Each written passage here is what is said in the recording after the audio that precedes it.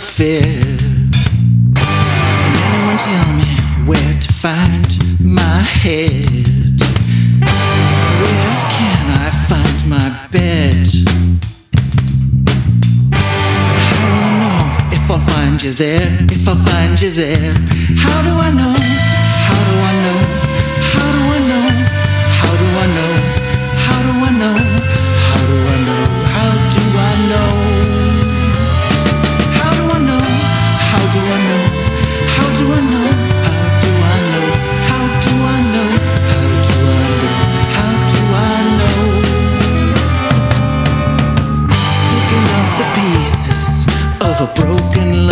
Love.